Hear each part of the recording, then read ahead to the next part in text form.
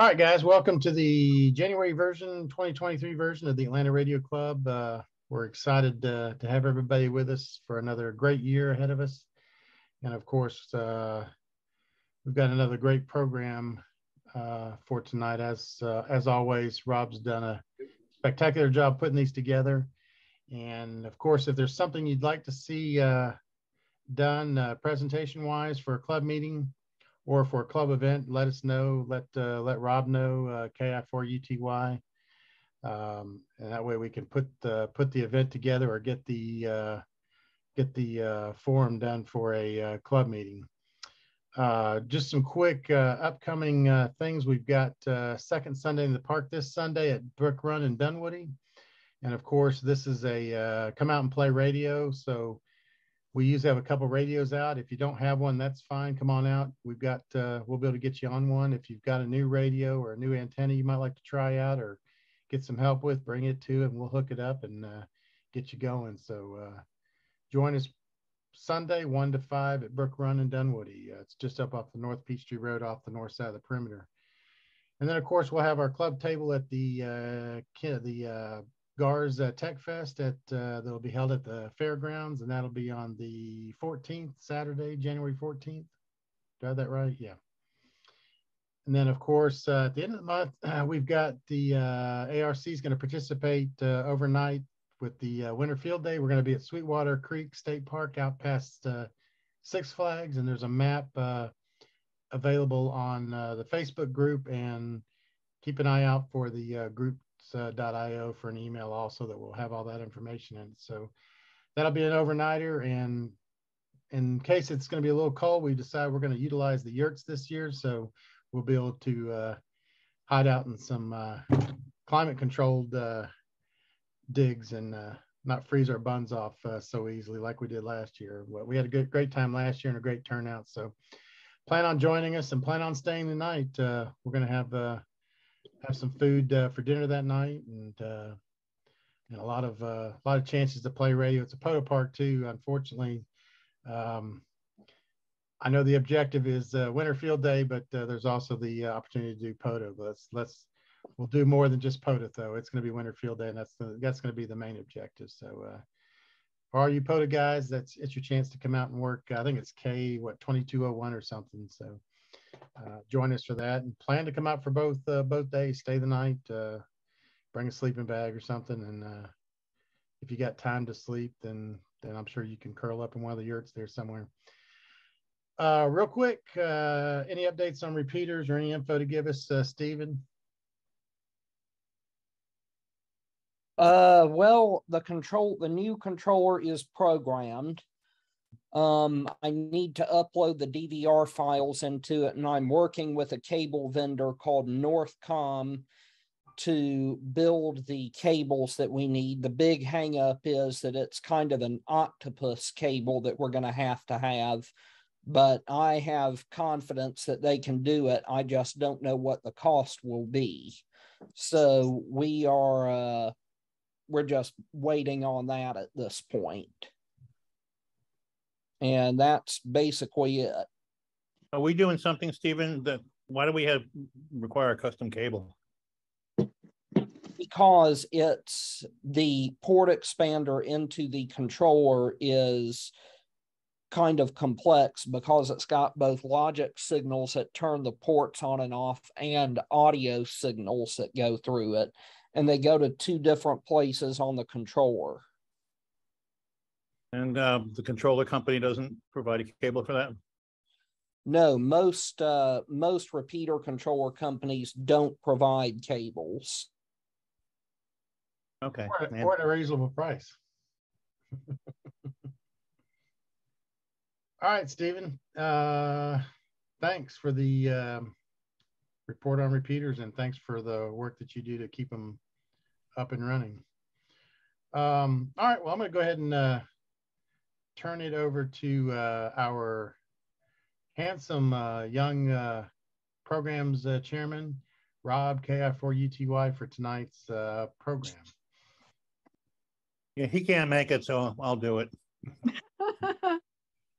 um, good evening, everyone. Um, hi, Claude. I didn't say anything earlier, but thanks thanks for, thanks for being there. Um, yeah, tonight's program is, is about Parks on the Air, which a lot of people have been asking about um, for a long time. It seems to be a, a popular program that's getting more popular. Uh, you know, you get to operate outside in a state park or a, uh, I guess it's a federal park, right? We'll, we'll hear all about that. And I've got an expert lined up th- through the courtesy of Zoom.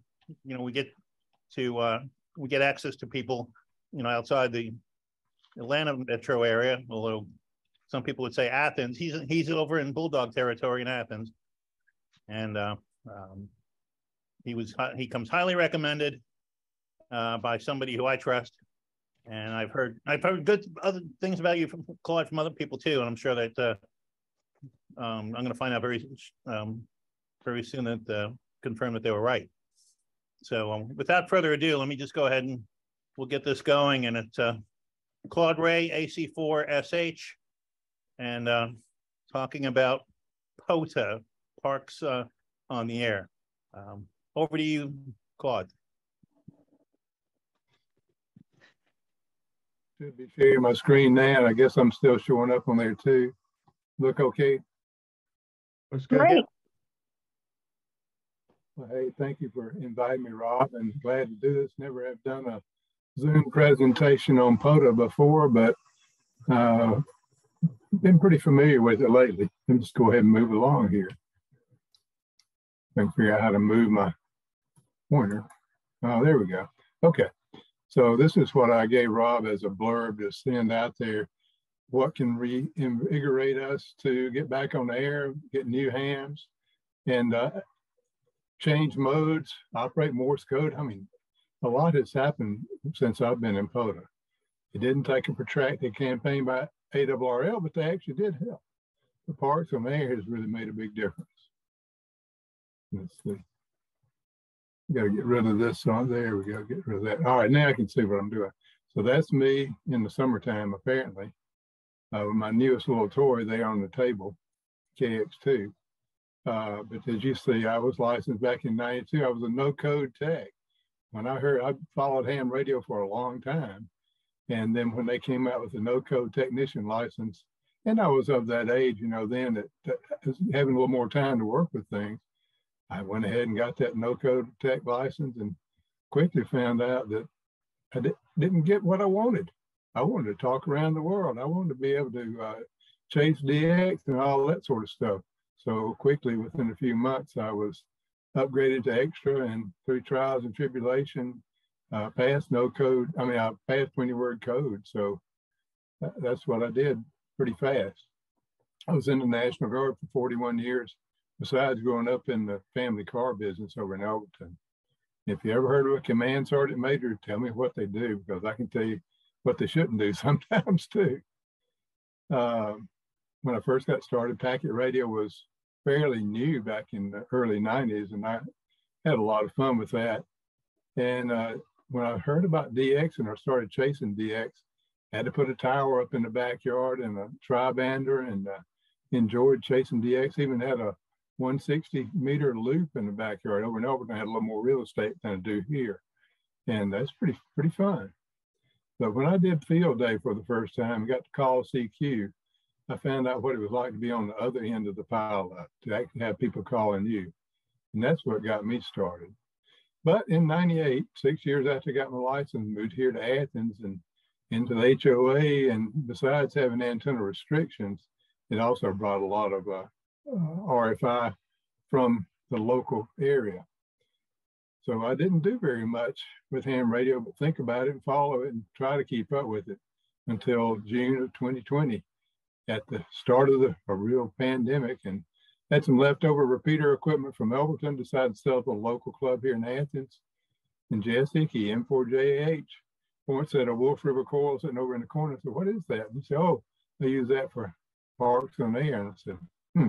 So like anybody nowadays, we pull out Google, look it up, and next thing you know, I started doing it. Chased a few from home, but then mainly figured out it's not that hard to be an activator. So two and a half years later, over 500 activation and 30,000 QSOs down with Parks on Air. And I, I decided then I'm going to take that next goal to go to all 203 of the POTA sites in Georgia. I've done a few outside the state. but I'm down to uh, four left to go, and they're down near Savannah. Uh, that was as of actually went to Wolf Island and Blackbeard Island with the help of a buddy that lives down at Darien back then. Wow. And if anybody has questions as we go, I'll be glad to talk to them. I can't see you so much as you can see me. Hopefully you still can anyway. But I'll talk a little bit about the program now. It started here in the US and it's all over the world now. Uh, hunters, like I mentioned before, that's somebody that sits and waits for somebody to go to a park. And they're, they uh, try to get in touch with anybody that's in a park. Activator's the guy that's in the park or girl uh, call in CQ mostly. And the simple rules or you go to a valid park. You mentioned earlier, John, it's got to be, or maybe Rob, a national or state park. It can't be a, a county park to be added to the list. There are a few exceptions. And when it comes to mind, Hart State Park over in Hartwell, it dropped from a, a state park to a county park, but they don't take them off unless they just completely close. You can't use repeaters except for satellites, pretty much like field day. Uh, you have to operate anywhere in the park, whether in the car, walking around on the trail, or sitting at the park bench like I am down there at the bottom picture. The exchange, the minimum exchange is the other station's call sign and a signal report. We don't have to send in the signal report, but you do need to know the band that you're operating on in the park that you're in. But mainly make sure you hear somebody's call sign. It's good to get the state to to make it a, an official activation of a park. The activator has to have 10 minimum contacts in that UTC day. Logging is done by the activators. The hunters often will log the contacts, but for them to get credit, the guy that's in the park, that's the activator, has to submit the log.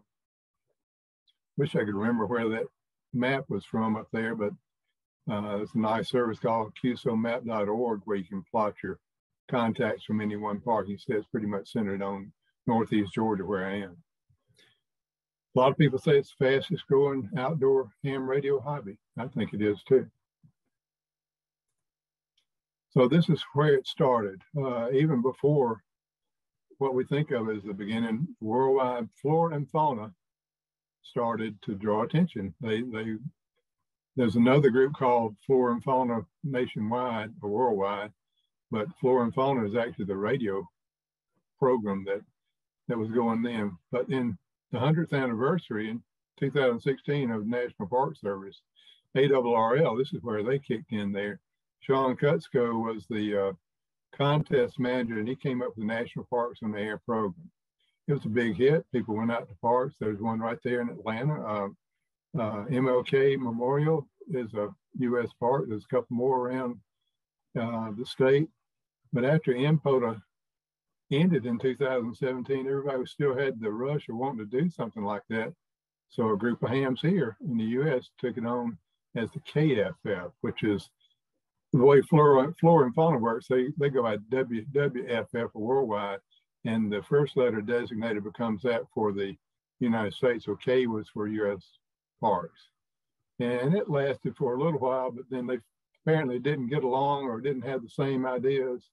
And they split off and made Parks on the Air in 2018. Of course, many of you probably have heard of Summits on the Air, Islands on the Air, U.S. Islands Awards, Lighthouses on the Air, Caves on the Air. Who knows? There's a lot of other programs, but POTA is the one that has really taken off. And as you see here, there's more than 10,000 sites across the US and Canada.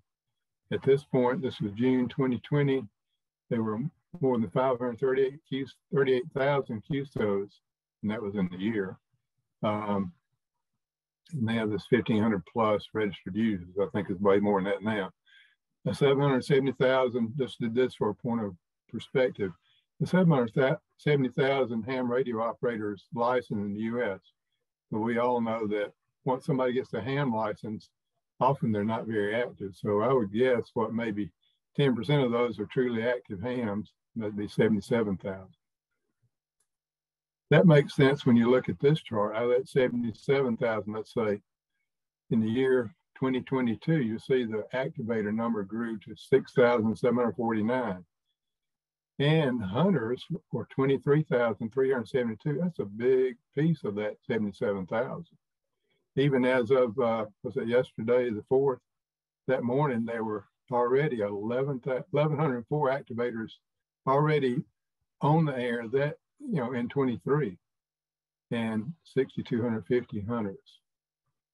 And you see the big number of QSOs out there. That's the most for any person. That's not for the total count.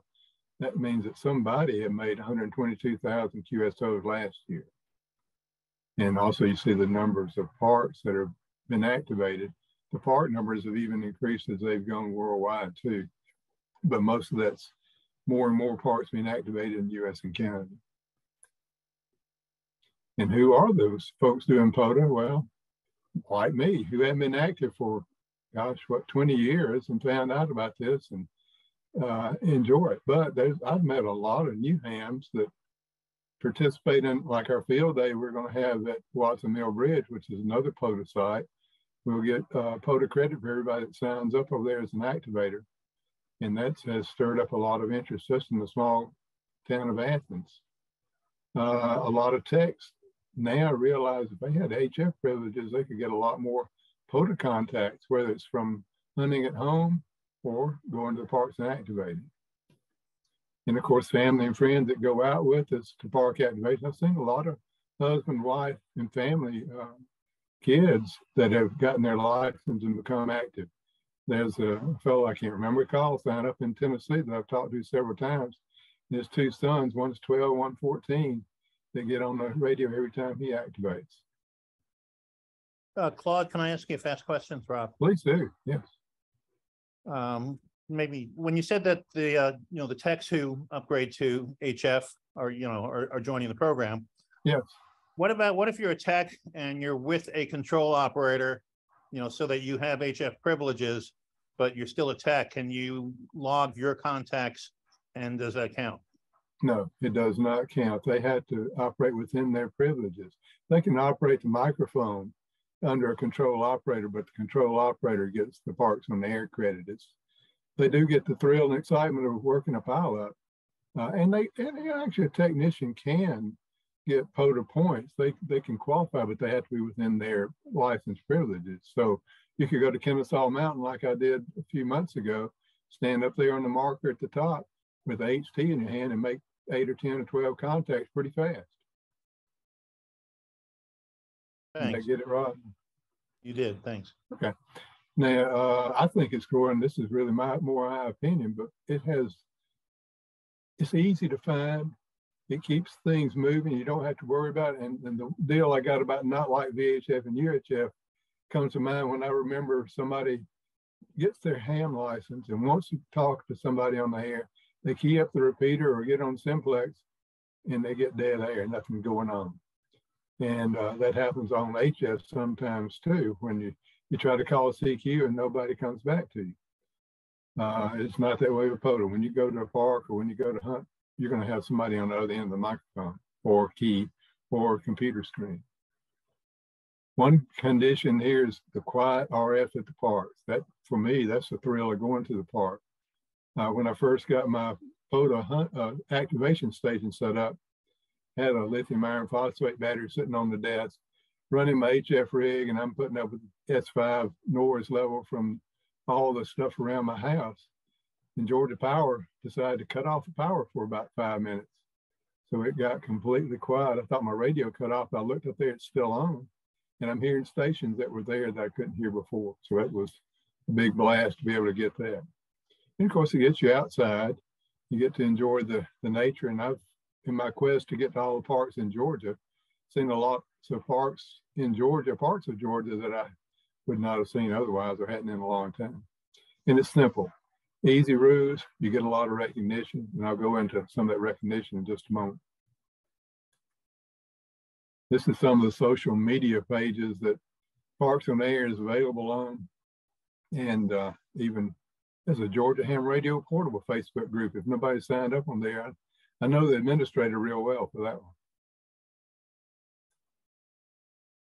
And I don't mean to keep running on. If somebody does have a question like you did, Rob, please chime in. I'll, I do have a pause planned in just a moment, but hey, it, it helps me understand what your questions are too. So like I said before, hunters make contact with activators who are in the parks. A hunter can be in a mobile. I had a lot of mobile contacts when I'm at a park. They can also be portable at another park or anywhere they want to be on the AT. I've talked to a lot of hikers and of course, at home, you get a big antenna and a, a linear. Sometimes it helps a lot there too. Um, you have to do a complete exchange. You know how frustrating it can be when you hear somebody say Sierra Hotel and never give you the Alpha Charlie 4. Well, you know, you can't make it from there. And hunters have to find the activators and make contact, which is not very hard to do, but you just got to do it. Activators, ones go out to the park, set up there in the park, call CQ, get the and give the complete exchange. But now park to park contacts is kind of a special feel there. That's when an activator in, say, uh, Watson Mill Bridge State Park contacts somebody at Sweetwater Creek, and hopefully do that on winter field day. That would count a special category for parks and air. Of course, the activator still be, has the one that has to file the log, or if, even if you have frustrating two or three uh, contacts and you say, ah, it's a busted activation, you still need to turn in because that hunter expects to have gotten credit for that part.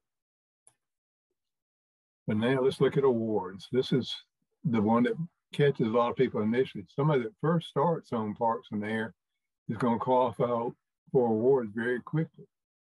It's for the number of parks they've activated or hunted.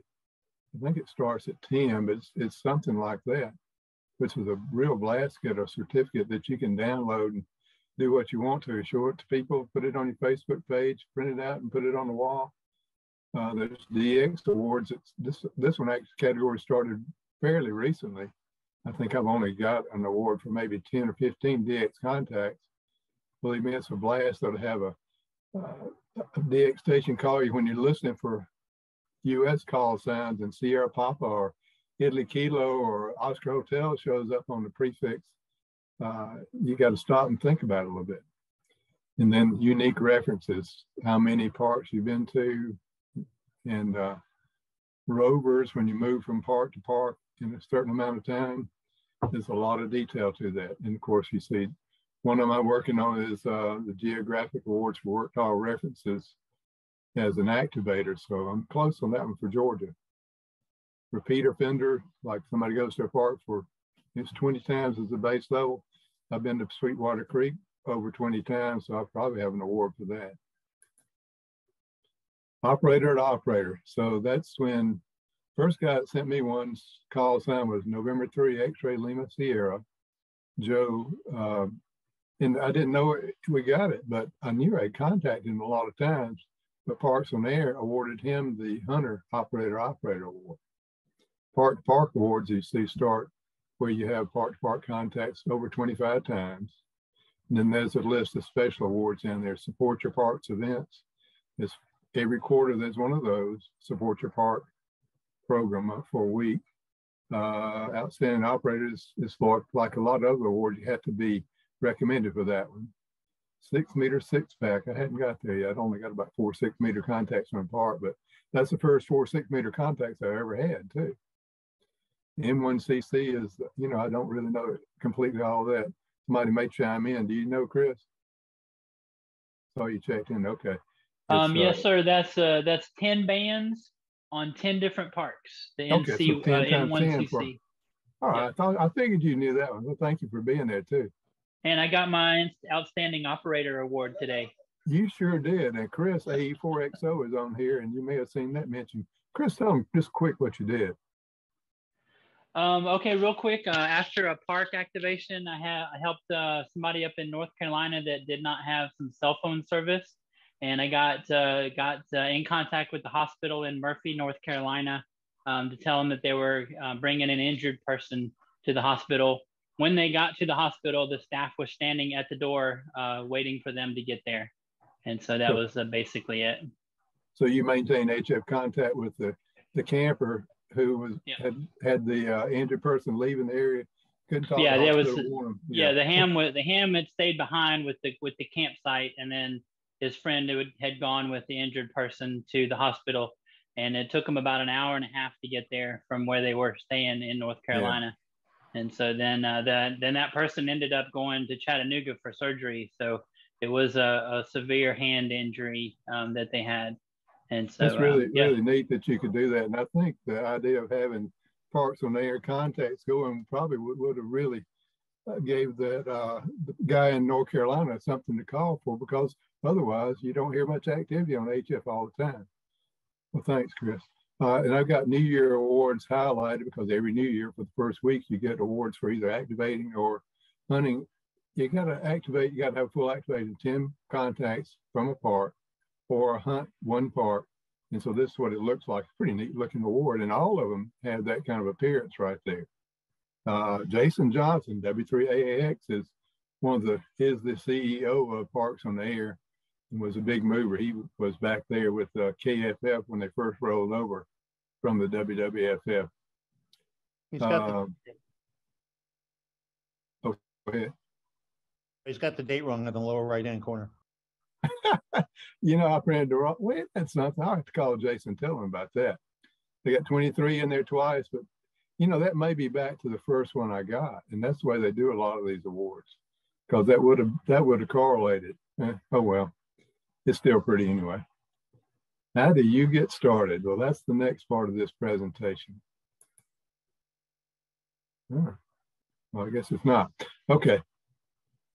Let me see if I got that better. Yeah, I guess that didn't work right. Well, let's see if I can back up. Um, there it is. What I want to do is show, and I will get to how do you get started with this, but if you are want to hunt a park or you want to do park to park, I hope you can see this well enough, but I got it circled. You can, this is a spotting page. It's under pota.app. It's not a app, it's actually a web address. And you can sort it by frequency like I have and you can maybe able to see the frequencies down through here. And this is single sideband only, but you can have it completely open so that it's sorted by time. Sort you can have the different modes, digital modes, or uh, CW, whatever you want to have in there. The next one is this is the card view. And so if you want to see it in a different way, you can present it that way. And if you see one that you want to get and you want to know a little bit about who KO4PWQ is, you can click on his name there and show a little more information about that. So hover. And to find parks, look there, John, I actually put Sweetwater on the map. I was lucky to work out that way. But this is a, a piece of the map that you can go to and you can have it come in local to your location or you can select where you, you know, look for it. So in this case, I decided to take uh, Sweetwater Creek as one to uh, focus on here. But you see there's another one top left, uh, that's Kennesaw Mountain, the MLK Memorial's dead center, Atlanta almost. And over there at Stonecrest is Arabia Mountain and uh, Panola Mountain State Park. You click on that little yellow dot, you get this page here. First off, it shows you more information.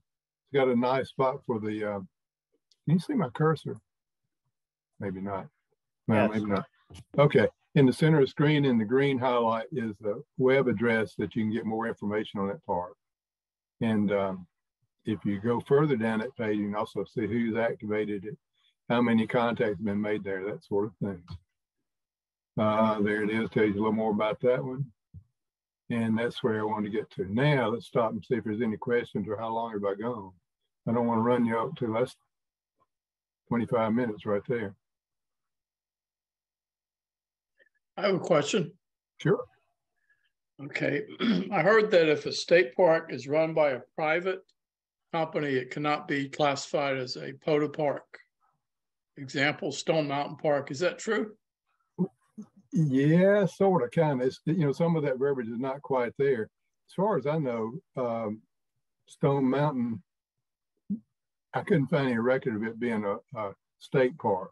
I always thought it was until I got involved on the Air. If it was something different, let me know. But now it is uh, operated by a private corporation completely and not owned by the state. And the reason I went and did so much research because I'm trying to get all the parks But the other thing is about two years ago, I volunteered to assist with the mapping in Georgia. And the fellow that I asked was a mapping manager. He said, I've been wanting to get rid of this job anyway. You want to take it on? So I've been doing that too. See, I thought it was owned by Georgia, state of Georgia. I could not find that, and I wanted to. I really did. I'd like for it to be. But even if it was, the property was owned by Georgia. It's not operated by Georgia at this time. Yeah, And that's so true. to qualify park at, I'm sorry. Yeah, that's true. That's what Yeah. I said.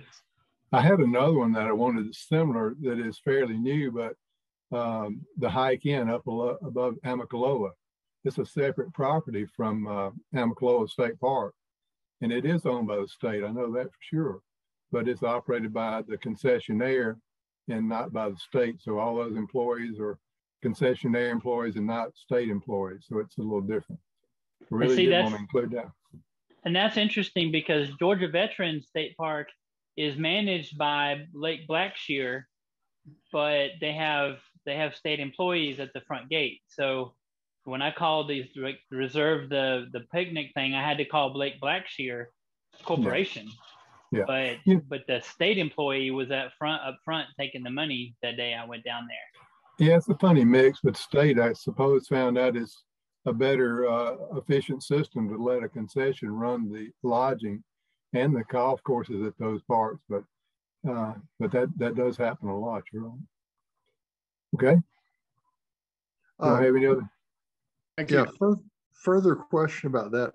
If you, if you want to find out whether or not a park is uh, okay, where do you look? Okay. Um, well, the park map that you can put, let me see, I may have a slide that shows that. Um, but when you go to the pota.app, pota.app, uh, you're going to be presented with several things. One is the choice to, to pick the map or to look up a park at the top of the page. Uh, let's see if I can find it back there. Yeah, in the center there where it says search for call signs and parks up here, you can start typing in a, a park name there. If you were to type in Amicalola, the first few characters went, until it becomes unique, they'll start pulling up uh, information. And you'll pull one of those lists like we had over here uh, that will show the part name or number name and uh, some information about it. Also down at the bottom of that page is some notes where you can find out a little more. But if you ever have any doubt, uh, get in touch with the park manager. I mean, the uh, map manager for the state. And again, that's me. And I got a QRZ address that you can pull up anytime to email to. Also, there's plenty of help on online. Um, those numbers like two, two, zero, one, that's a POTA assigned number. I- Indeed, it is. There's a long list of them. The K is, again, just like the KFF, that's the US part. And then they're sequentially done when they, when they first put in. So if you look at the state parks, you'll see they run in the two thousand range for a long way, and then they start jumping as they add them on. It's not a requirement. But that's what, when I'm doing a park activation, I'll be calling CQ Parks and Air, CQ POTA. This is Alpha Charlie Four Sierra Hotel at Kilo two two zero one QRZ. And so that's the designator. Of course, there's also a spot page that people can look and find me on, like we're showing over here. Well, maybe not. Okay. All right, let's go a little bit more unless somebody's ready to stop. More, you know, how many, do people activate from cars often? I, I did hear that at the King Center. You know, the feds would not let, would not let, uh, let the people operate from the, uh, you know, from the street or from the building, so they just sat in the parking lot and they operated. from That, the that's, lot that's where I did. Uh, I did, I've been up there twice. Um, I've got a, a drive on mount, uh, thirty foot pole or twenty-three foot pole, whichever one I bring. And I've got some, uh, two and a half pound barbell weights that I use for my guides. I put an inverted V up both, uh, one time it was a Wolf River coil, other time it was inverted V. But, um, I did sit in the car because it's not any park benches. And I was in a part of the parking lot that was out of the uh, traffic pattern. And the second time I did it was on MLK Day last year. So which was kind of fitting, I thought, to be there at that park. But yeah, there's every park has its challenges. Yeah, so the feds were okay with that, then the uh, Park Service. The ones I talked to were because I didn't talk to any of them. And and there's a, a lot a lot of discussions about you, you know the whole thing about asking permission or or uh, begging forgiveness. Well, most of the time, people at parks do not care. They don't understand what we're doing when we go there. They just don't want us to interfere with somebody else's uh, uh, enjoyment of the park. So, like When I, I was in Go ahead. I'm sorry. Oh, uh, uh, what I was saying is, I made sure when I pulled up the MLK site that I, it wasn't so overcrowded, even on MLK Day last year, that I would be anybody's way. Uh, I made sure when I positioned the antenna, it wasn't going to trip anybody up, and uh, I stayed there quite a while. And that's about it. What were you going to say, Chris? Oh, I was just gonna say I went down to Jimmy Carter um, a couple of weeks ago, and I made the mistake of asking the the ranger if I could put an antenna up, and she said Yeah. since it was a holiday, um, she couldn't get a hold of the person to give that approval. So I just went out and I did my hitch mount and put my pole, my 30 foot mast on the on the hitch, and it was no trouble. So, you know, you have to be prepared for you know alternating your your you know um, your setup because sometimes you have a tree you can use a tree sometimes they'll let you put stake in the ground sometimes they won't and so um, it's good to have uh, multiple ways to to put your antennas up um, especially when you have things like that where you can't do um, do that in certain places Yeah. I tell you what, this is a good time to go to the next part. We, we, um, there are a lot of rules and most of the common sense that Parks and Rec has. You saw the spotting page that has the same green heading that this page does there. But now I've clicked on the sign up button over there and it gives you this create a cognito account. Well, that's where you get an ID and some people use pictures on their account or not. Anyway, you need to go through that first. Next page you get was this one right here where you do the sign in you can use any of those social media accounts or set up an account. Actually, in my case, the one in I use the Facebook sign in. Actually, my email address, my Gmail address is down there on the bottom right. And I did that to set up an account for the uh, Athens Radio Club so I can flip flop between the two right there too. But if you hadn't had one before, you go ahead and set it up right there. And then you flip to this page. After create cognito, you go to rules and code of conduct. And that covers a lot of what we're we're just talking about where to set up and what to do uh, if there's a conflict. Usually the thing is if there's a conflict, hang it up, go out of there and figure out what you did, how you're going to activate the park next. But that brings me to another point. I've seen this brought up. How do I activate? Chris, you may this too, but there was somebody recently said, well, I went to ask about activating and they didn't know whether I could or not. You know, it, that happens sometimes, but if you don't know, and you want to go to a place that you hadn't been before, there's always a listing of who's activated there before. Send them an email, get in touch with them say, what did you do at this park? Where did you go? What was the best way to operate? Because, you know, I, a lot of hams are like me. They'd rather tell you something than uh, have you figured it out yourself, but it's always there too. Uh, the FAQs cover some of this, and I've got some of that later if we get to that uh, acknowledge community resources. I think I've got a slide for that. There it is. Um, that's the community resources right there.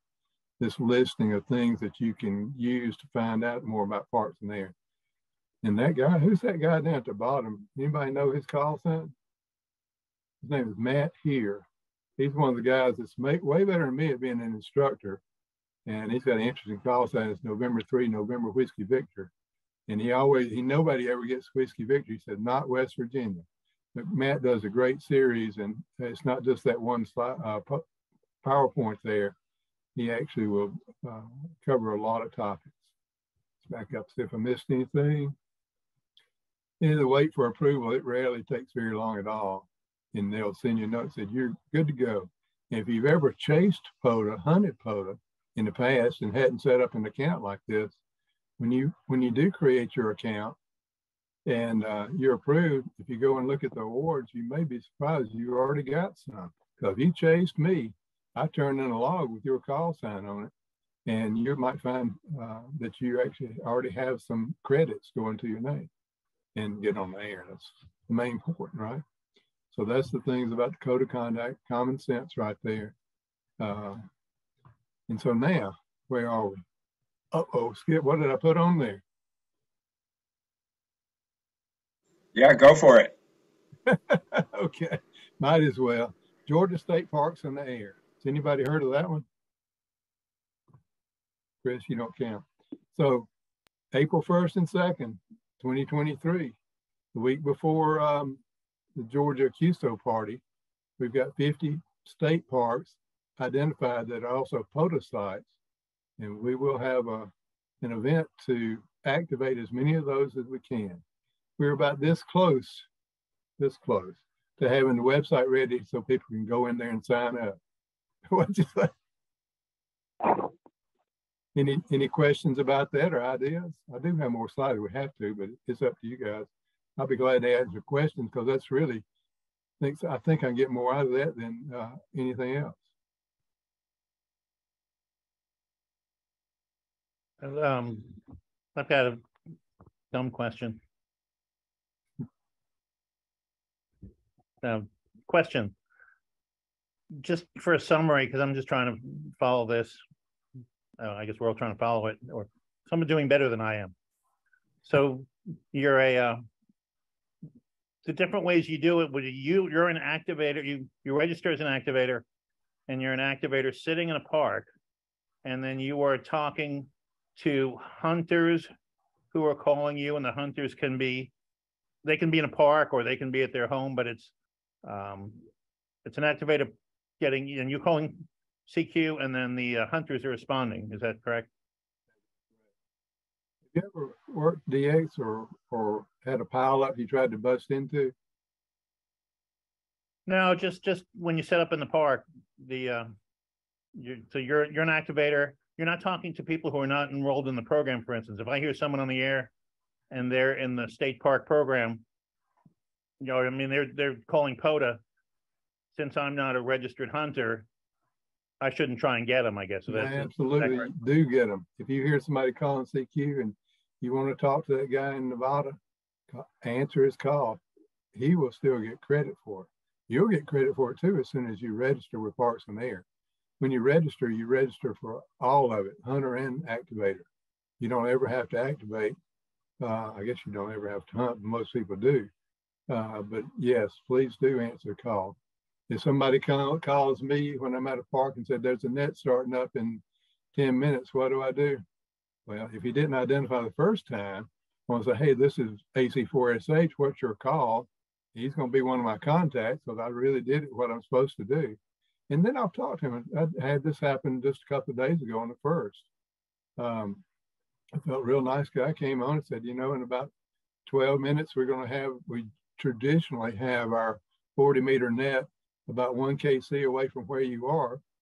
And he was really nice about it. And I said, okay, well, hey, I'm calling for parks on the air. I can move on pretty quick, but what's your call sign? I appreciate you letting me know. And of course, he told me and he's very gracious about it. I said, well, I'm going to put you down as a contact. Hope you don't mind. It didn't matter, but I was going to do it anyway. And uh, we talked a little bit about, so I took an educational opportunity to tell him a little bit about it. But I've had that happen a couple of times. And when I start back, usually the other hunters will back off for a minute and let the activator talk. And uh, often I've had that uh, person that helps say, man, you got a big pile up because he hears so many other people calling. The most, and Chris, you may have had better, the most uh, contacts I ever had in about an hour and a half, two hours was 222 at one, one activation. And it can be a real flurry of activity. So yeah, bust in there, see what your station will do. Yeah, is that answering answer your question, Rob? Um, yes, it does. The, uh, I, I have a, uh, follow-up that I'll, that I'll think Oh, of, but yeah. yeah, that, that, that definitely answers it. Thanks. Okay. Well, anybody else? Um, I'm Michelle Moore, uh, Kilo Delta 2, uh, Mike, Zulu Michael Victor. This has been a great presentation. I'm really enjoying it. I'm a new ham. And my question is what frequencies, can you talk about frequencies that uh, you mentioned six meter um, that we should be focusing on and using? Slide and page for good reference on that. Uh, Do you have a general class license?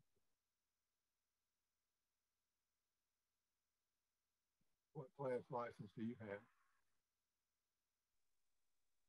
have? I'm sorry? Oh, I, what, what's your license class?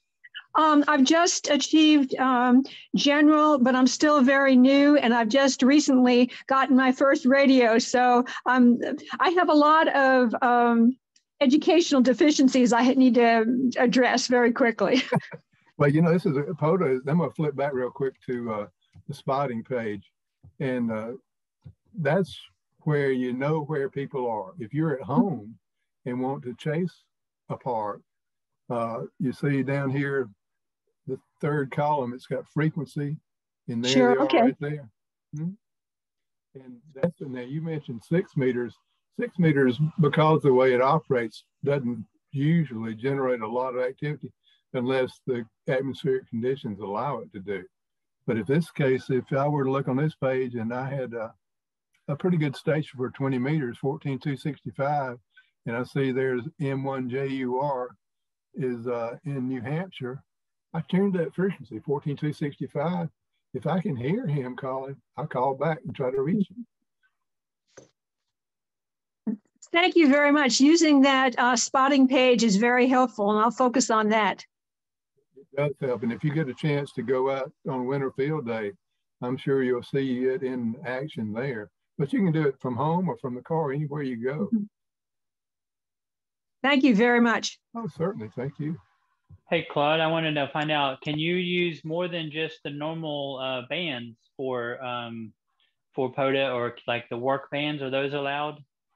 Parks and there it is. POTA is not a contest. Haven't we heard that before? But, you know, uh, back, to, oh, Michelle, one more que- answer to your question. You too, Chris. You- You want to make sure that when you're an activator, you stay on bands that people have access to. Even though I have an extra class license, I can operate on some segments of uh, 40 meters or 20 meters that a general class licensee can't. Uh, is unless I just don't want a lot of activity, I will make sure I stay in the general class portion of the bands. And especially 10 meters for technicians. Uh, if you're working phones, stay between 28.3, 28.5 to make sure that you you get the most business and, and the most enjoyment out of it too. But uh, WARC bands, 12, 17, 30, 60, uh, yeah, they, they're wide open for us. But like any place, you want to make sure you're not interfering with somebody else's traffic. Uh, this is Michelle again. Are there any, um, maybe the top three bands do you suggest that newbies uh, focus on when they're just starting out? The way sunspot cycles change, that uh, does affect it a little bit, but not a lot. My general operating is what the 40, 2017 inverted V dipole with links in it. And I have never gone on activation and failed to activate on 40 meters, you know, to get 10 contacts. Sometimes it's harder than others. Sometimes the, the conditions are better or worse, but 40 and 20 and lately 17 have been real killer bands for uh, op- operating. You can almost guarantee that you're going to make a contact, enough contacts on any of those. Thank you. You're. Any Uh, others? Uh, just Rob again, real fast. I remembered, reminded me. Um, yeah, I- uh, when you say it's not a contest, um, that- yeah, I've talked to people who talk to POTA stations, and they're always saying, you know, when they get somebody in a park, you're right. When they get someone in a park, they they talk, they have conversations. It's not just you know, give me the exchange and and uh, then they go away and they want you know want the next call. Um, you're right. Some- friendly. Yeah, some people are that way and some are not. It depends on the approach.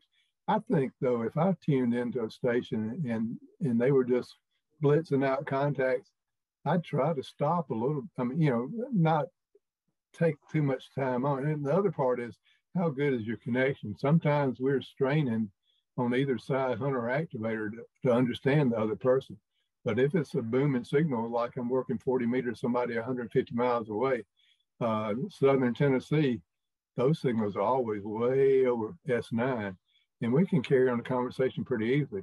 And some of the people's voices I recognize, man, we will talk for more than just the, the quick, you know, five nine kilo two two zero one seven three. That's it. But you know, if if somebody truly has a question and phrases it like like the guy did that was telling me about the net, most activators will stop and talk if they have a little confidence. Of course, most activators aren't as as busy at it as I am either. I understand that too.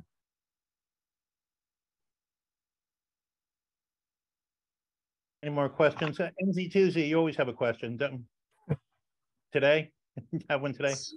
No, I've, I've, I've been following it. Um, I've tried to activate, uh, um, Kennesaw Mountain Park that I pass a couple of times a week, but I haven't, I don't spend enough time. It's just in between errands, but I really Yeah. enjoy POTA and I jo- enjoy the app. You know, the first time I activated Kennesaw was from the upper parking lot, the overflow parking lot, and it was snowing, a little spitty snow. And uh, I quickly set up that dipole over the uh, wheel and turned the heater back on in the truck, got it warm, turned it off, and sat there. Nobody was there.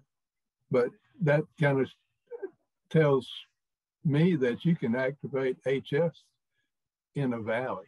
I've done that at uh, DeSoto Falls, which is definitely in a valley. Also, it's a three for, I'll get to that in just a minute.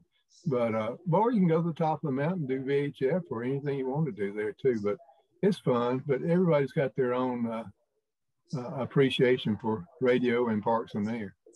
I just, uh, uh, NZ Tuesday again, I just sit in the parking lot. And uh, if I have the small car, I'll just put, uh, have a tripod I put on top of the roof of Yeah. the convertible and operate uh, from inside the car. And if I'm in a, if I have another car, I have a piece of long wire and a nine to one balun and a tuner, and I just throw it up in a tree. And I got a chair and sit on the back of the Jeep, and I just operate from there. And I've done fairly well. You know, it's a great opportunity to try out your radio and, and different techniques like that, Rob. I, I do appreciate it. Here, John, uh, Rob, if you don't mind, let me move ahead real quick to some equipment pictures I got. And pardon me if I Oh, cer- skip through these real fast. Go ahead.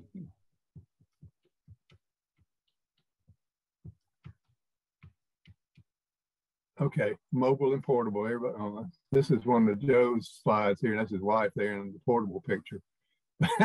I don't, I, my car never looked like that on a mobile, but the radio side anyway.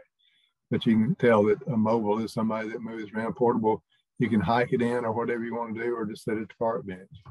Uh, there's a mountaintop or skip. You got one of those? I think you do. And uh, I will say mine looks more like the one with the HT and the 7300 or whatever it is in the laptop there. There's a lot of different ways to, to do it. Um, see, there's somebody's, maybe a 705, that may be Joe's right there. He does, he's got the label. An 817, those are five to 10 watt radios, QRP radios that are a lot more portable. Uh, the blue battery, that's that's a dead giveaway for a Bioenno battery, which is a great thing to have. Um, different antennas, you see all sorts right there. Has the balun right there. Um, battery by maybe Richard's cup. Richard's not on, is he? M1 RBD. There's Richard's picture. And uh, that's just some of the stuff that you see. There's my picture. That's uh, one of the lake. Chris, you may recognize that lake. I can't remember, maybe Paradise. And the bottom left picture is that Sapelo Island. They threw me out under a pavilion there and left me for an hour and a half on the beach side. It was really terrible, wasn't it? That was nice. The latest one that was really unusual to me, and I got to say this, was I went to Wolf Island, my friend Darien. We went out there in a 17 foot Boston whaler. I stopped by the truck stop before I got there because I needed a clamp to clamp my uh, vertical antenna to the handrail inside of his boat. Wolf Island is uh, restricted from uh, human contact, but you can get into salt creeks that are within the boundaries of the island. And uh, I clamped that uh, antenna to the uh, rail, tried to figure out what to do with the counterpoise, and I realized, well, look, there's salt water in this creek. Throw the wires down there. So I put three counterpoise wires in there, And before you know it, about an hour later or less, hundred contacts were done. Um, so that's pretty much it. Anybody else got any questions? I'm I'm good with that.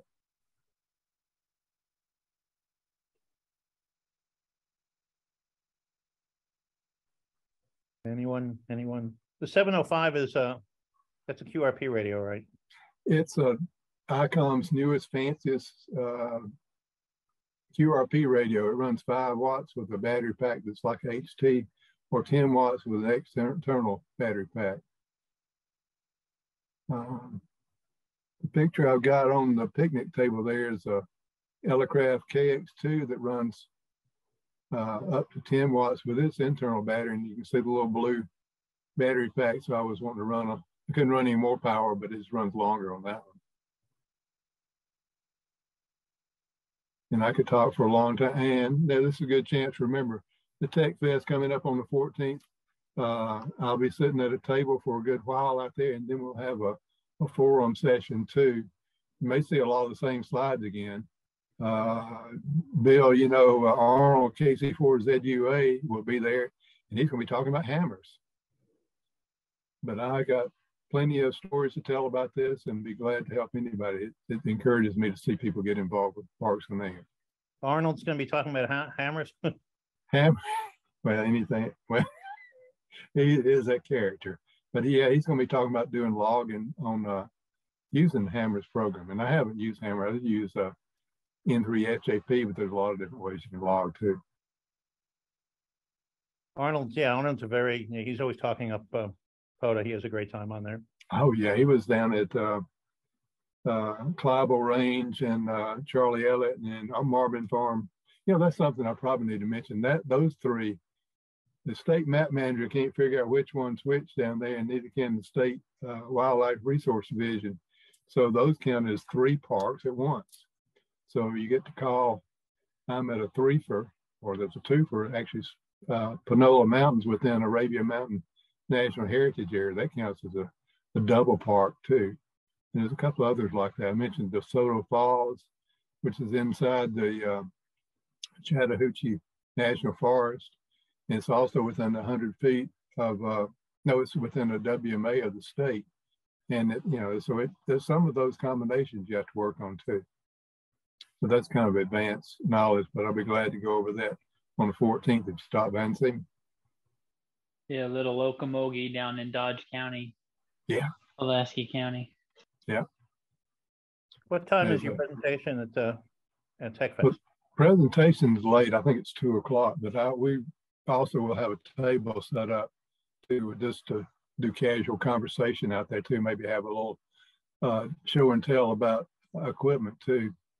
You may answer questions. So that'll be al- almost all day. It's a great opportunity for uh, yeah for follow up. Yeah, glad to. I wish I could make it over for you winter field day at uh, Sweetwater, but I'll be at Watson Mill Bridge uh, two days over there. We just hope we can make contact from park to park. See if you can make it to the Atlanta Ham Fest in in in June. Talk about that.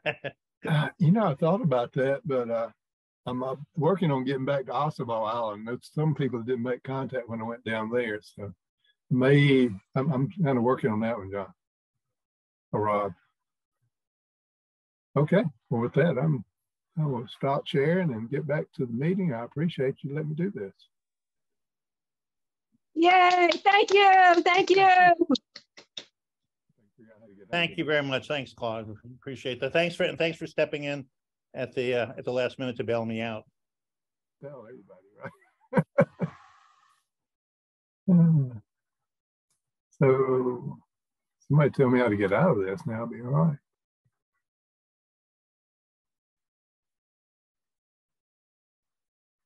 I'm trying to find the button to, Yeah, I think I got it up there, but let's see. Oh, there we go. Seventy three. See you the fourteenth. All right, I'll be here if you don't mind me staying around. Absolutely, absolutely.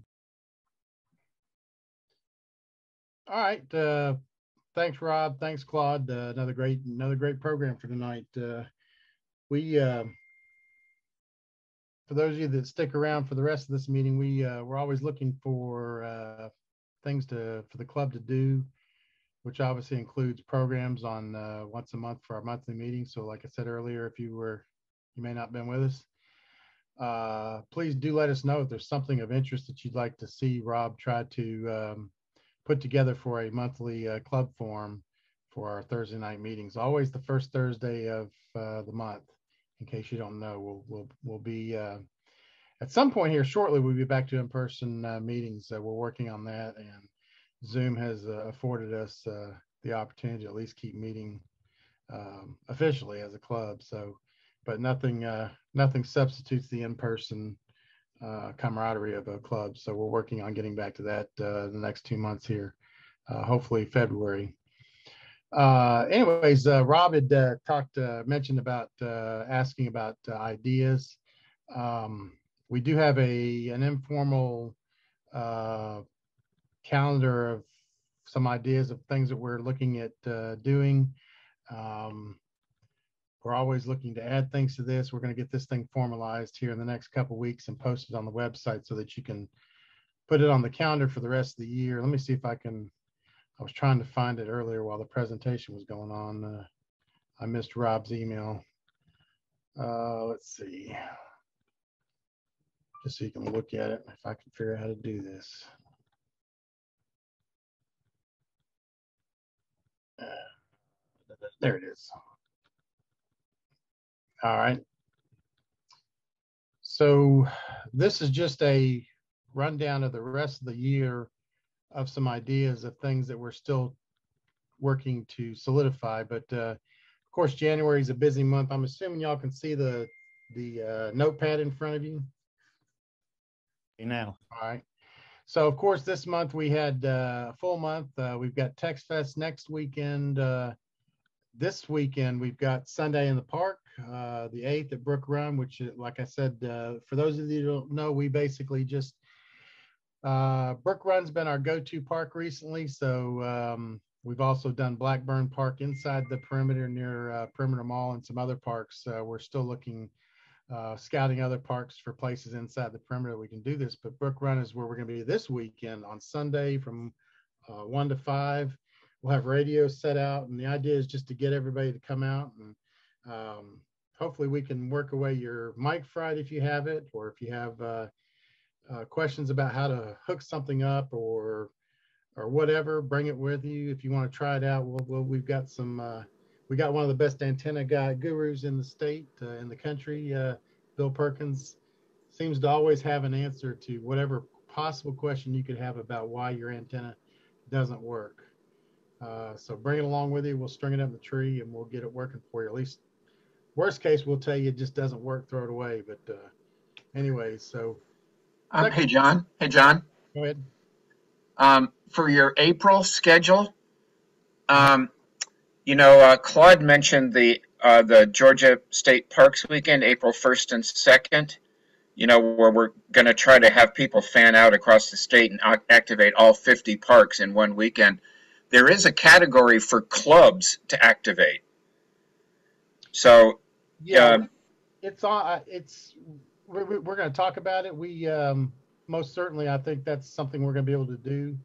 Um, I did see that, so we're we're aware that uh, we'll we'll come up with something uh, to um, participate as a club, I guess, in that event. So the some of these don't have dates in front of them uh, I couldn't find the actual email that I had that I'd emailed the file. I couldn't even find the file, but I had to pull this out of an old email real quick. So it's missing some of the dates. So that's uh, the first weekend in April, but uh, we'll get to that. We'll get to that in a second. But anyways, um, thanks, Skip. Of course, Tech Fest is next week, next weekend, and then Winterfield Day at the end of the month. We'll be out at Sweetwater Creek, and like Claude said, that's a uh, POTA Park also. So the band should be hopping that weekend.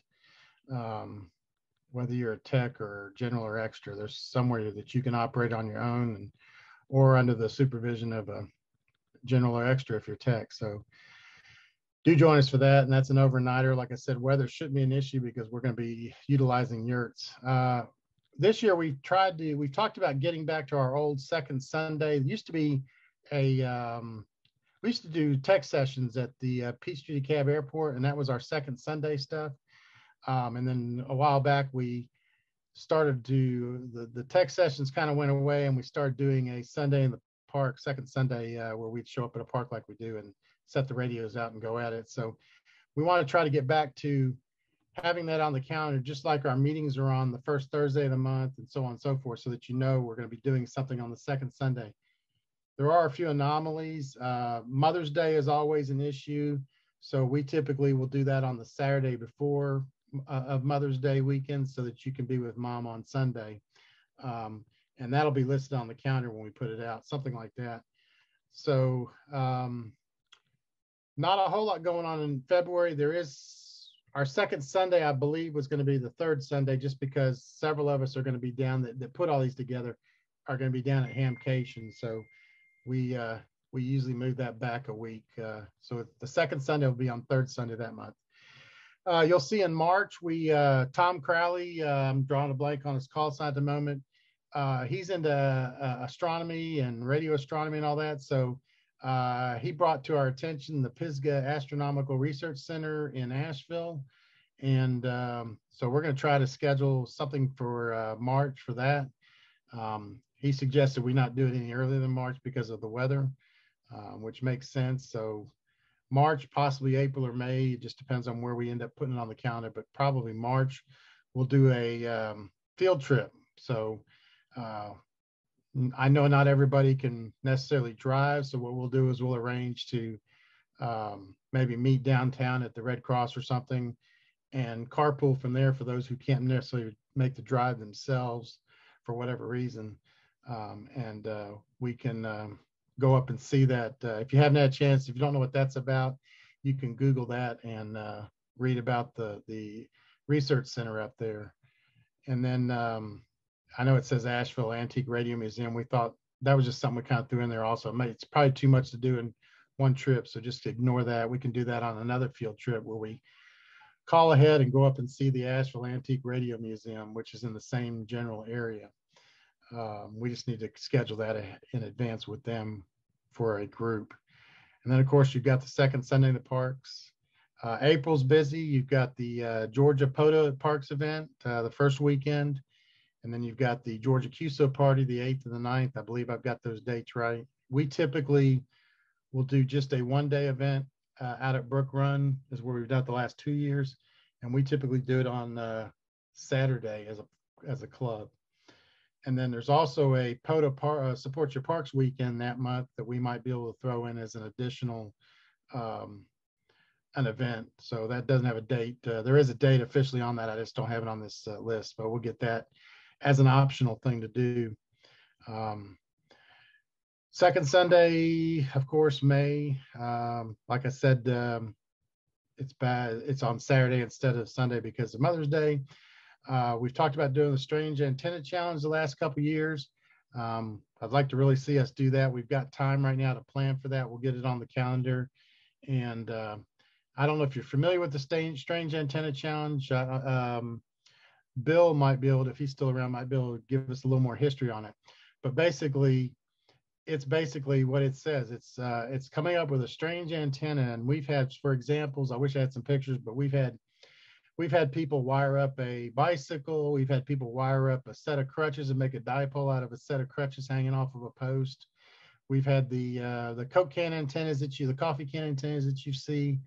Um, well, there's been all kinds of. We had uh, Arnold and, and his ladder. Oh, that's right. The the the the, the ladder, the extending ladder, the the, the old extending ladder. Um, Arnold uh, K4's uh, KC4ZUA uh, was known for that, uh, wiring up uh, uh, an extension ladder. Rob still had the best one. He he's the one that did the saltwater antenna. That's right. Uh, it was supposed to be 20 meters, but it turned out being two, and we checked into the Sunday night net on a saltwater antenna. You did. Well, I couldn't be near the saltwater, you know, in the ocean, so I had to bring the saltwater with me. That's right.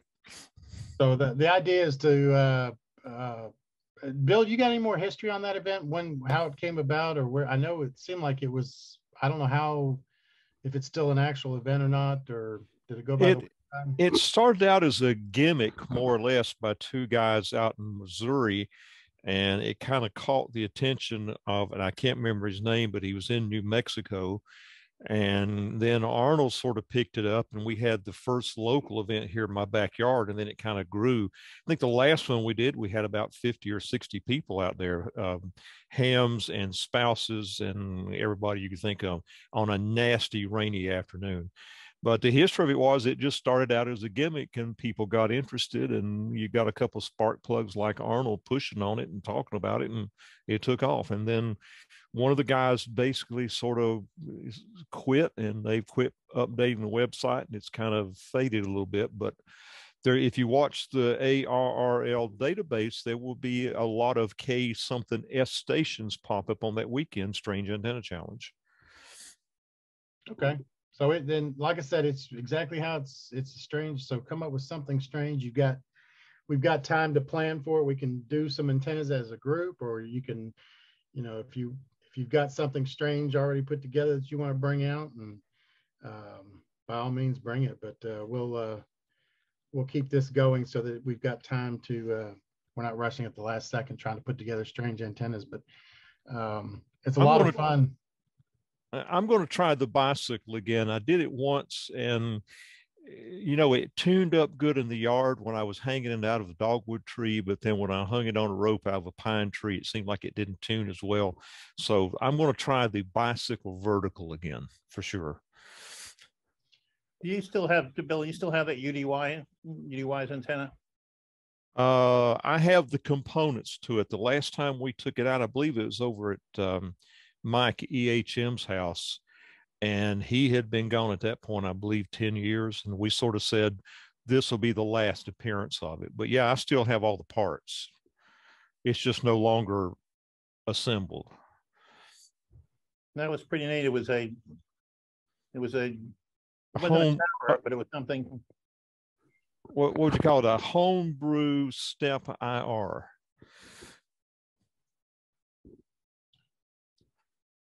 So anyways it you know it's it's there's some crazy stuff out there that people manage to uh, put a wire to and make uh, resonate so they um, i'm sure you can probably go out on the internet and search youtube and other places and find plenty of examples.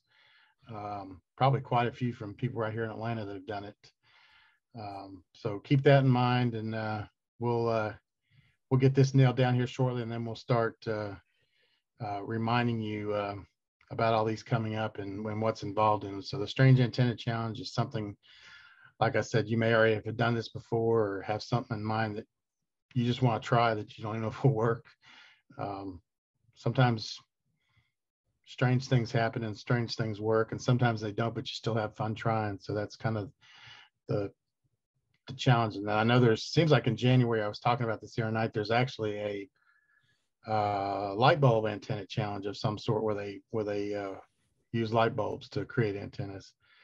Uh, of course, we've got um the Hamfest uh, the first weekend in June coming up. Uh, that's always uh, a big need of volunteers there.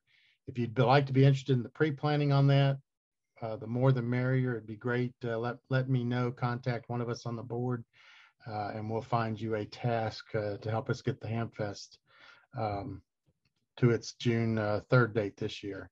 This will be the 91st date, I guess, first event that we've had.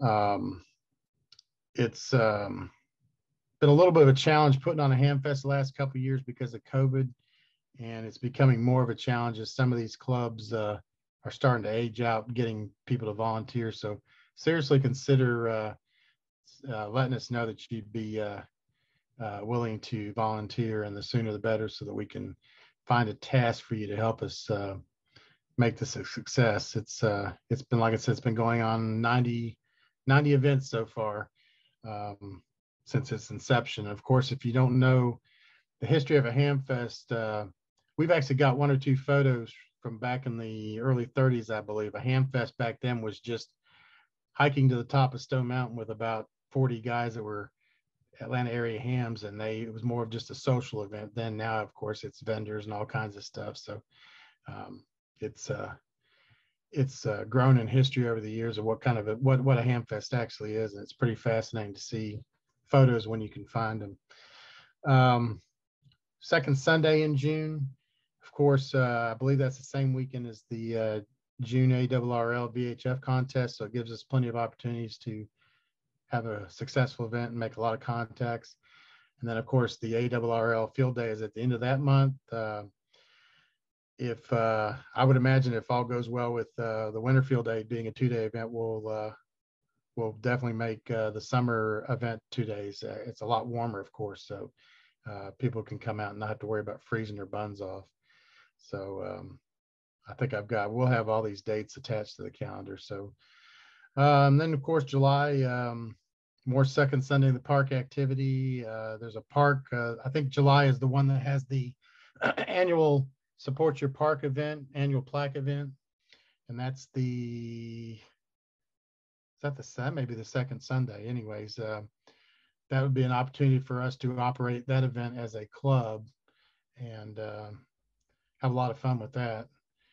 And then, of course, uh, August and uh, is another second Sunday type event. So there's plenty of other uh, opportunities for you to suggest things uh, for us to do, uh, whether it's operating radios or uh, taking a field trip. I mean, we've had all kinds of things like um, even making a field trip out to MF. This was years ago, but making a field trip out to MFJ uh, via bus or something.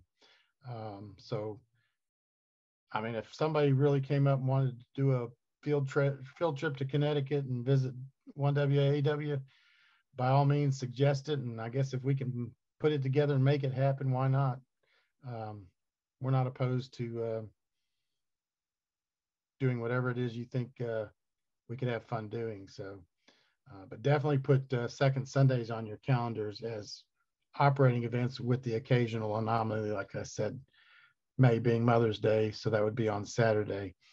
Uh, does anybody have any? Um, that just gets us to August, and that's when the new board takes over. So we kind of just after that, it, you get into the holidays anyway. So um, we kind of stopped for August for the moment. Uh, by the time we get towards that part of the year, I'm sure we'll we'll come up with more stuff for the new board to uh, take on as suggestions. Does anybody have any uh, immediately have any ideas of some things that they've seen before or thought of that they'd like to see us do or go to or or put on or whatever? Yeah, John, I have several issues. Uh-huh. uh, count me in for the uh, Hamfest. Uh, okay. I'll be glad to help. And uh, last night I made my reservations for the um, Huntsville um, Hamfest. That uh, QSO party is the same weekend and I found a pretty good rate, $98 a night at Town Place Suites by Marriott in Huntsville. It's um, off of University Drive. It's right around the corner from that German restaurant that we ate at. Okay. And so, you know, if you get your reservations early, you'll probably get a good rate. Yeah, I'm, I, and I'm sorry, I, that's I for some reason that it it's not on the calendar here, but that's we we we had talked about making that a trip this past year, and it, and we it just didn't it didn't come to fruition. So if by all means, if enough people want to put something together where we, you know, even have to carpool together, if somebody can't make the ride by themselves and needs to carpool, we can talk about it and we can make that a field trip too. If everybody, if enough people want to, uh, to, uh, we've been having a Hamfest table over there and promoting both the club and the Hamfest. So we certainly could make that a field trip and, uh, heck, we could probably find an Airbnb that has eight bedrooms or something if we wanted to and tried to fill that up with enough of us. So certainly a good idea. Any other, any, what, what else, Ed? Yeah, uh, one more thing, and this is pretty far out. On um, uh, on April the eighth, twenty twenty four, the last total solar eclipse for the for the next twenty years will occur, and so I plan on being in Hot Springs, Arkansas, on that day to view this total solar eclipse. You know, that's pretty far out, but um, we might want to think about that. Sure, sure. That's that's something to something to put on the planning for next year. That's that's that's a good idea. What last, else? the last eclipse didn't that happen? I think it was in August, right? Because we had some guys who went to Huntsville that weekend, and then from Huntsville they went up to I think Tennessee for the yeah. For the yeah, it was 2017. I went to uh, South Carolina to see it, uh, where um, Clemson University is it, it occurred there. But you gotta go a little further this for the twenty twenty-four event. We should find out if propagation changes when you're in the middle of a, when you're middle of, a- of an eclipse, because the sun temporarily stops lighting up the atmosphere. It's pretty strange, um, because when you're in the middle of the eclipse, everything is dark. And all the animals think it's nighttime. So the crickets start, start chirping. All these animals start making noise.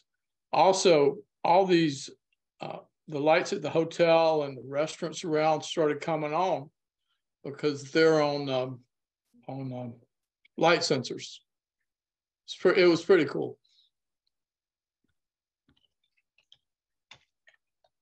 That's all I got, John. Okay. John, let me ask, uh, where is this gonna be posted? Because it should be on the, I mean, it'll be on the, the web page, but where Oh, else? yeah, this, we'll we'll put on the web page, and we'll continue to, uh, uh, we'll find ways to, uh, advertise it through the groups.io and, and also, uh, Facebook.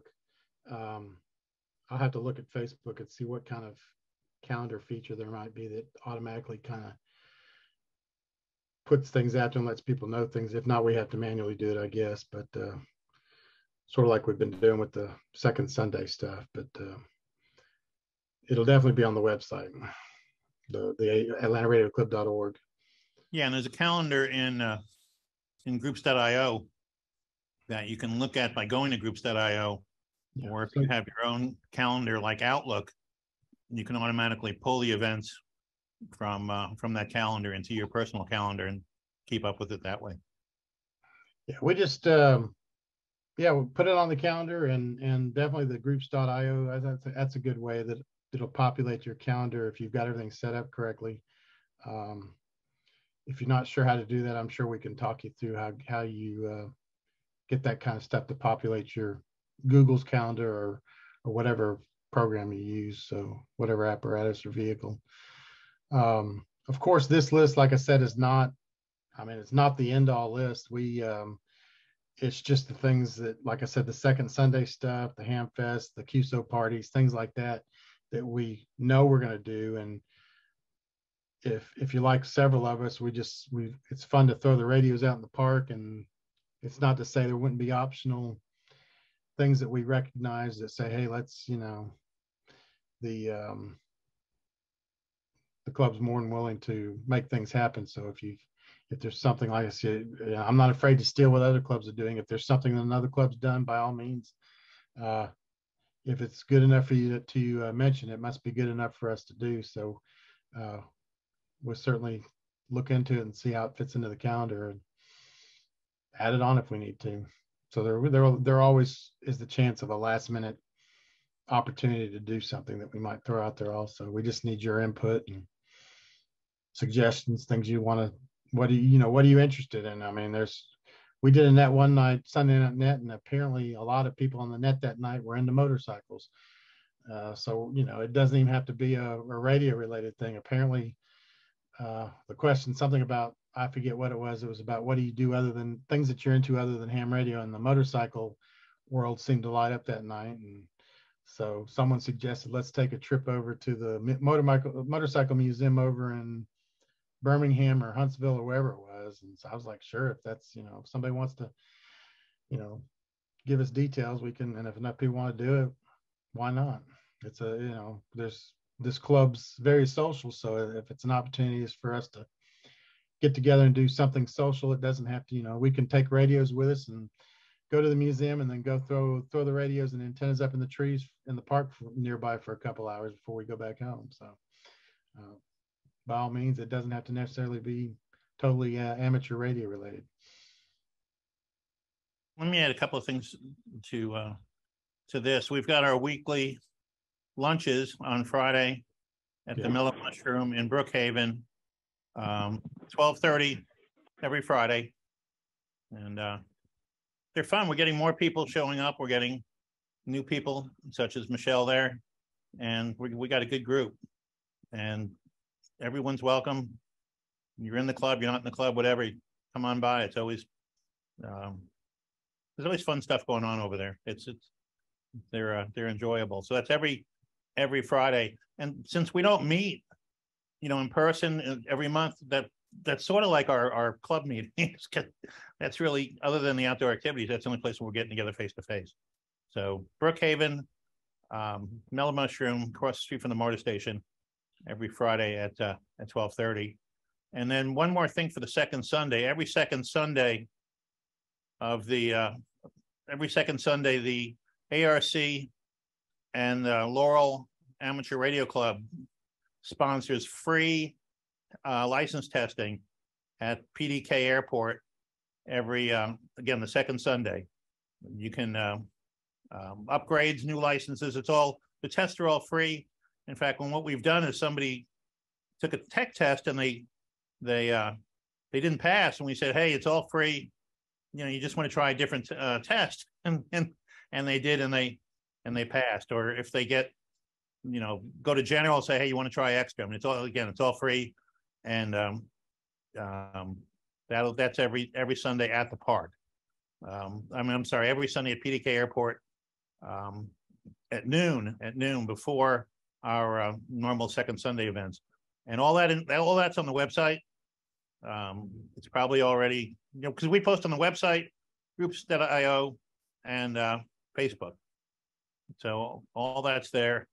And um, one more, th- the video from from tonight, the video of this uh, of our meeting tonight is going to be on. Uh, it'll be on YouTube by by the weekend. We've got videos from all of our meetings since um, August 2020 up on YouTube. So if you miss the meeting or you want to see something again, um, you know, you're welcome to look at YouTube.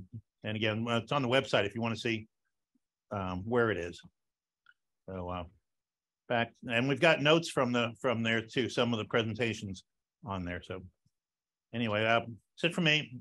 Okay, okay, for you. All right, back to back to net, back to president. And, and, and by all means, uh, join us for lunch if you can. We're, we're I'm, I, I really want to try to get a, a, a couple Saturday breakfasts going over this year, maybe, because I know not everybody is not retired. So getting there on Friday is probably a little difficult for for some. So uh, we're going to try to mix in a, a, breakfast here and there just to give you a chance to come out and and rub elbows with fellow club members uh, at a breakfast, uh, you know, at a bagel shop or whatever. Nothing it's nothing expensive or extravagant. Um, you know, recently, uh, it was uh, last was I guess it was last week um, at the Mellow Mushroom. We had a little power pole building session breakout. It was probably a little pre-planned, but that's those those uh, those lunches and breakfasts are great opportunities for that kind of stuff to uh, for you to bring uh you know bring bring your latest project or something maybe you're working on even if it's not finished just bring it with you and we've uh, we've had that kind of stuff thrown out on the table for everybody to kind of look at and ask questions about and um, so those are good opportunities for for the club to you know get together socially and and not necessarily operate radios but just see what other guys are doing in the club or, or gals too. I'm sorry. John um, and Rob, uh, we ran into something Sunday. We've talked about POTA tonight, but apparently ARRL has something called VOTA, V O T A, Volunteers on the Air. And I thought I received a uh, email from ARRL about it, but that email has disappeared. I was wondering if anybody else had heard about it or if it was of interest to anybody. I hadn't. I know there was something in the QST this month about volunteerism, but I don't know if there was information in there or not. Mm-hmm. Uh, I'd have to go find the magazine to pull it up, but I haven't heard anything. Yeah, it's interesting. I'll look for that on their on the website. I'm curious. I'm curious about that. Right, because I think there was one lady who was giving out 175 points on Sunday, and um, we didn't know quite what it was all about. I still want to do Waffle House on the air. Yeah, WODA. well, there's your breakfast on Saturday morning. There you go. That's true. and that was a superb program on the power pole too. Many, many thanks to Bill for that. Yeah, that was a lot of that was a lot of fun. Any other ideas, suggestions, comments? All right. I know we uh uh, Skip and his crew. Skip had a few guys either working with, and they've uh, kind of come up with some ideas on how the club can can work on uh, um, membership, uh, growing membership, and stuff like that. That the board's uh, taking a look at to see um, what kind of information they've come up with for us as far as mapping where our, our membership is and where to focus our efforts. We we've been working on. we send some letters out from time to time sometimes we try to do it in conjunction with an event coming up so that we can welcome new hams in particular um, or somebody who may have upgraded recently that's within the certain footprint that we've been working on uh, or focusing on and invite them out to uh, the club and events that we're doing. Um, we've gained a few people that way so I, it's it's been successful. Um, we know atlanta is a very difficult city to get people involved in because there's so many things so many op- other opportunities or things to do that there are a lot of people that have gotten their licenses within the perimeter itself and are just not into the club scene, um, whether it's ham radio or dancing or whatever. But um, what we're working on, uh, we're working on ways to uh, to invite new hams into the hobby here in Atlanta and the Atlanta Radio Club, and um, looking at ways that we can interface and um, coordinate or or uh, enjoy the camaraderie of some of the other clubs here in town. I've noticed recently that there's been a shift in um, over the past year or two how the clubs uh, kind of work together a little better than they have in the past, and uh, so that's that's good to see. And it's always fun when you can have multiple clubs uh, getting together doing things uh, for the benefit of the hobby. So. Um, any other ideas? Any any suggestions? After tonight, if if you think of something or you see something, please do write it down and and either email it to us or um, you can make a suggestion on the Sunday night net at eight o'clock when we do our Sunday night net. Um, the good thing about the Sunday night net is you don't have to uh, have a radio. You can hop on Echolink. Um, if you have an interest in operating, being a net control operator for the net, it's real simple. There's a script. Um, honestly, if you make a mistake, nobody's going to notice anyway. So there's a lot of hams that get their licenses and they have mic fright and they never, literally never get on the radio. Um, I want you to know that it doesn't, I mean, even the best of us are going to make mistakes, but I mean, it's, it's, it's not like we're breaking the law or something like that. See, if you, if you say the wrong thing, no big deal. Just keep on going. But just the script's there for you to read, and it's pretty simple to follow. And yeah, we come up with a question, and you certainly can. If it's your night to do it, you can turn it into a tech net if you want, and you know, put something out there and turn it into a question and answer session if you'd like. It's it's not uh, nothing's written in stone, but uh, do consider participating in that too. And like I said, you don't have to have a radio.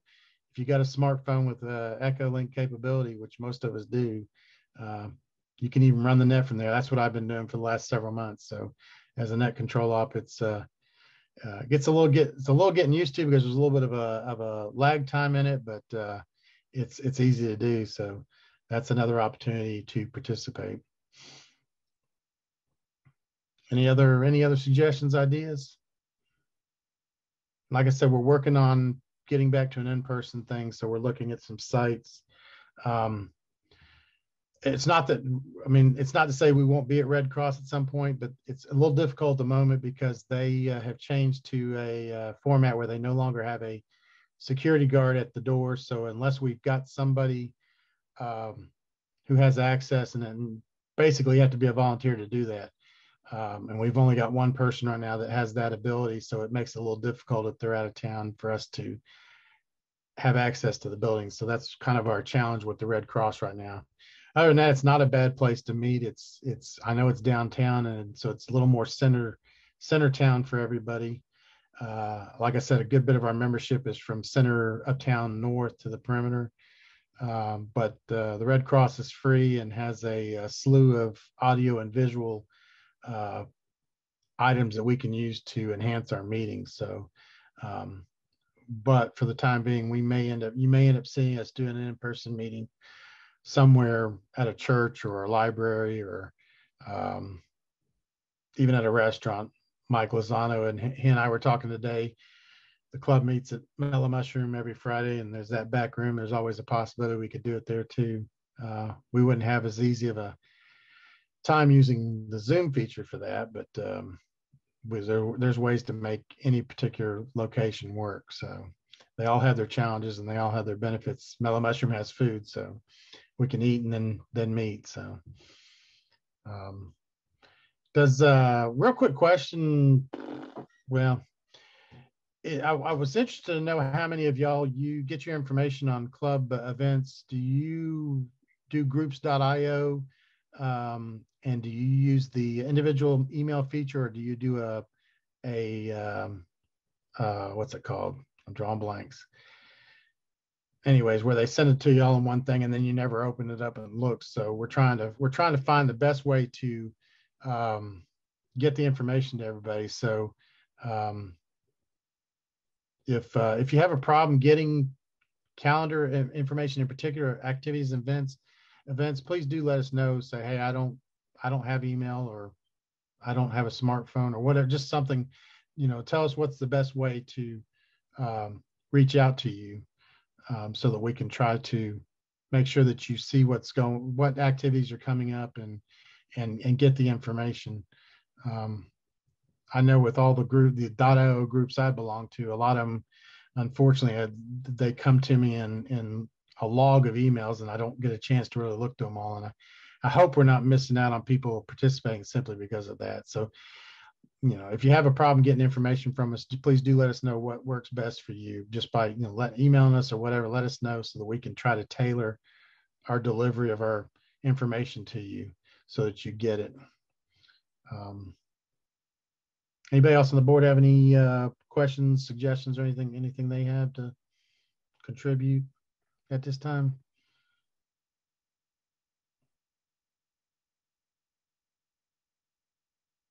Quiet. All right, and of course, if you uh, if you're a dues paying member, which I hope all of you are, of course we don't have a once a year type system. We have it uh, right now. It's on the however you join type system. So if you're not sure, uh, obviously uh, dues go a long way to helping us support our repeaters and and our club activities. So if you're uh, looking to know if you're not sure if you're a current member or not, you can certainly contact uh, Aid, our secretary, and all of our emails are simple. It's whatever position. So for aid, it'd be secretary at atlantaradioclub.org. Um, mine's president at uh, Bill Perkins is, oh boy, is it vice president or VP? Uh, we'll have to check that one out. Um, or you can do an XCOM at atlantaradioclub.org and we'll all, we'll all see the email. So um, let us know and shoot us emails and let us know what we need to do to make, uh, make, uh, the club work for you and and make it a, a, an experience that you want to participate in. And like I said, if you want to know if you're a current member or not, uh, contact aid at secretary at atlantaradioclub.org and ask him. He can let you know if you're current or not. And of course, if you're planning on passing away in the next few days, don't forget to include us in your will, of course. Uh, we're always looking for whatever avenues we can to help uh, uh support things that the club's doing. Um, any other uh, questions, comments, suggestions from anybody? Do we have a, we don't have, I guess we don't have a program for next month yet, do we, Rob? You're still on mute. Yeah, you're on mute, Rob. Ours has their, I do not. Okay. I will do well, that. We'll, um,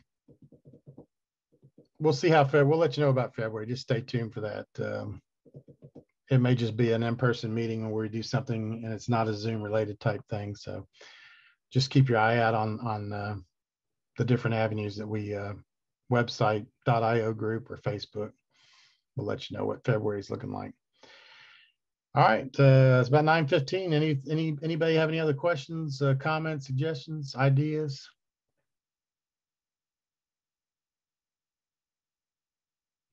Like I said, if not, uh, for don't forget uh, Sunday, uh, 1 to 5 p.m. at Brook Run Park. Uh, we're back in the back near the back entrance off of Peeler. If you come through the park, you'll hit a stop sign at uh, the main drag there, and I believe it's DeKalb Way.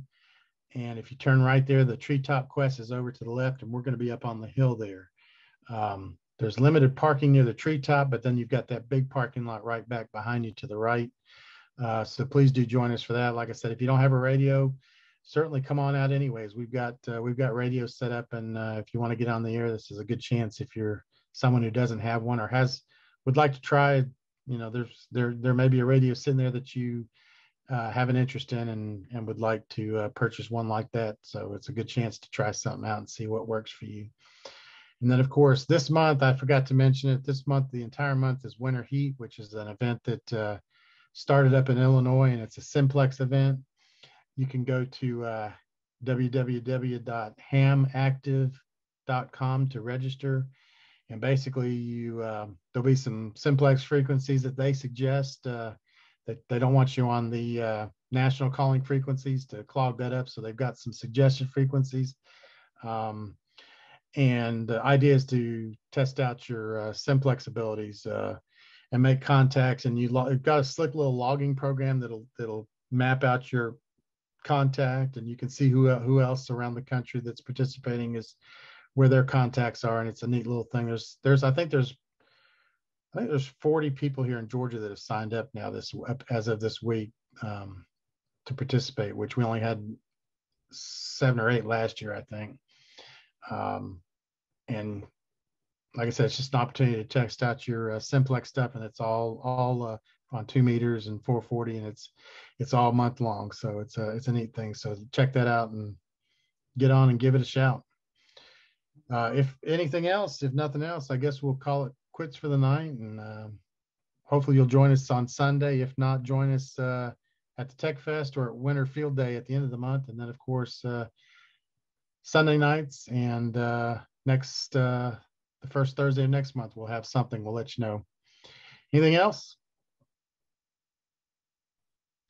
All right. Well, thanks for joining us tonight, and thanks Rob for another great program. Thanks Claude. I don't know if Claude's still with us, but uh, thanks and um, look forward to uh, hearing you on the air. Everybody have a good evening, and we'll uh, we'll talk at you later.